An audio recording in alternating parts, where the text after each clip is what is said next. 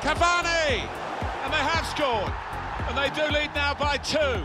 And they've worked very hard for this. It should get them across the line at the end of the match, we'll see.